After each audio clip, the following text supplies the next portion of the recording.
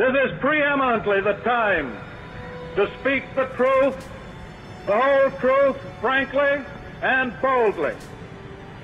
Nor need we shrink from honestly facing conditions in our country today. This great nation will endure as it has endured, will revive and will prosper.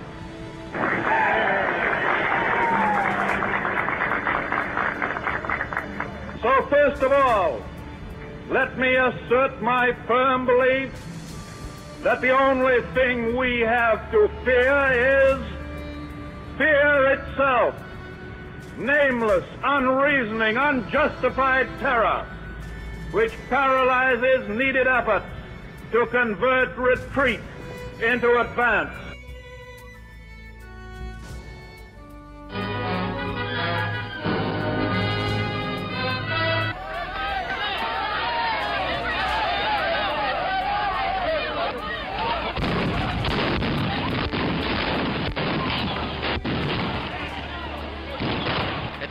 Thing to see, the kind of trouble that makes neighbors bitter enemies. Surely there must be some other and better way of settling these disputes. December 7th, 1941, a date which will live in infamy. The United States of America was suddenly and deliberately attacked by naval and air forces of the Empire of Japan.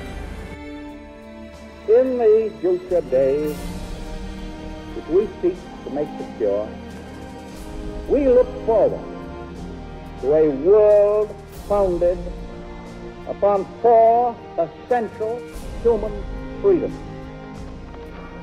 The first is freedom of speech and expression everywhere in the world. The second is freedom of every person to worship God in his own way everywhere in the world. The third is freedom from want, which translated into world terms means economic understanding which will secure to every nation a healthy, peacetime life for its inhabitants everywhere in the world. The fourth is freedom from fear, which translated into world terms means a worldwide reduction of armaments to such a point and in such a thorough fashion that no nation will be in a position to commit an act of physical aggression against any neighbor anywhere in the world. Why, some say the moon. Why choose this as our goal? And they may well ask, why climb the highest mountain? Why, 35 years ago, fly the Atlantic? Why did Rice play Texas? We choose to go to the moon. We choose to go to the moon.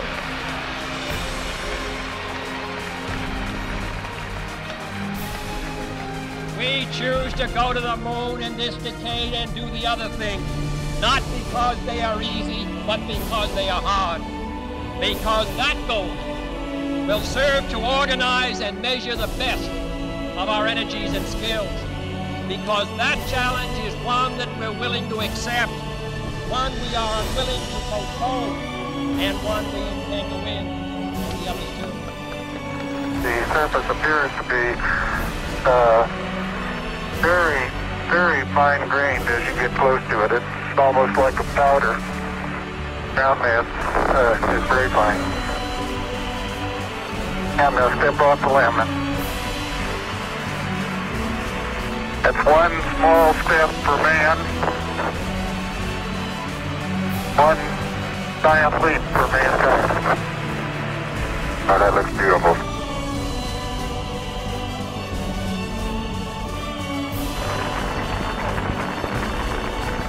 William H. Silver third highest medal in the country. It doesn't mean anything. Bob Neal died for these medals. Lieutenant Conwell died so I got a medal. Sergeant John died so I got a medal. I got a Silver Star, Purple Heart, Army Commendation Medal, eight Air Medals, National Defense, and the rest of this garbage. It doesn't mean a thing.